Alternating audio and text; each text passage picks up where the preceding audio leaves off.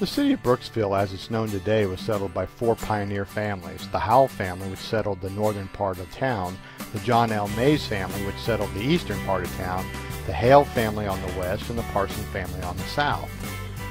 The country life is alive and well in Brooksville, Florida. The small town, located about 50 miles north of Tampa, is nestled amid gently rolling hills and wide open spaces with the Withlacoochee State Park as its backyard. Brooksville was actually founded over 150 years ago. Brick streets, murals, and a smattering of antique shops and boutiques put the charm in its charming downtown. Just down the road you'll find Weeki Springs. The older attraction still has the most unusual show in town, mermaids that perform underwater in the crystal clear springs.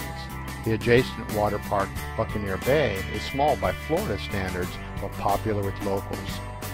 North of Weeki Wachee and northwest of Brooksville is Homosassa Springs State Wildlife Park, where you can see the real Florida, showcasing nature. Area activities include sightseeing tours, boat rentals, fishing, and snorkeling. Brooksville is an exceptional place, full of character and wonderful views. It's a living memory of Mayberry, a jewel on a hill away from the bigger build-up modern commercialism of cookie-cutter superstores, chain stores, and strip malls.